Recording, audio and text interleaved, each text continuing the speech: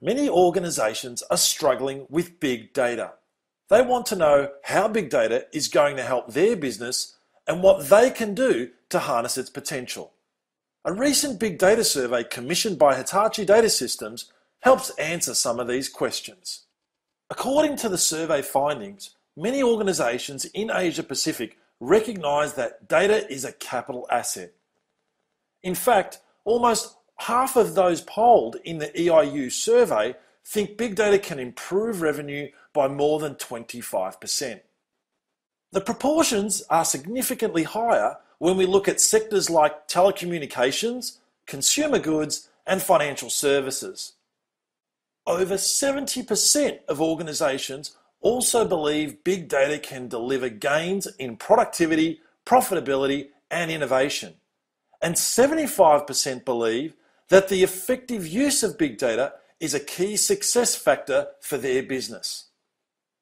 But despite these high hopes, big data adoption rates in Asia Pacific have been slow.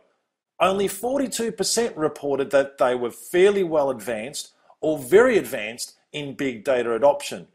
The rest either hadn't made much progress, hadn't started yet, or didn't know about big data at all.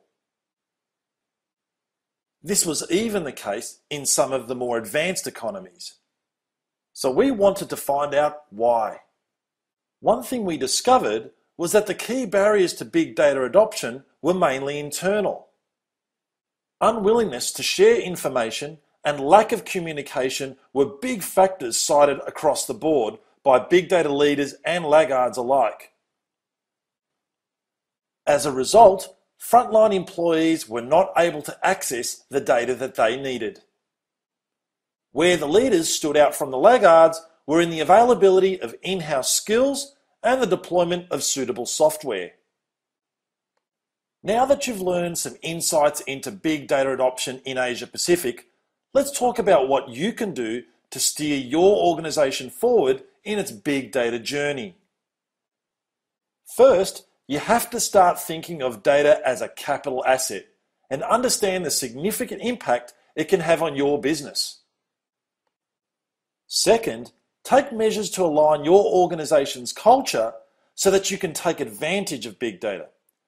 For example, C level executives and functional heads have to take ownership of big data initiatives and define a big data strategy for the business. Adopt policies that will break down information silos and improve internal communications. And finally, involve IT early in the business planning cycle and make sure that it is tightly integrated with the business strategy. This will ensure that not only the right technologies are being deployed, but existing data assets are ready to be translated into insights. We hope that this has given you some insights into how you can develop a tangible big data strategy and ensure that your organization continues to innovate with information.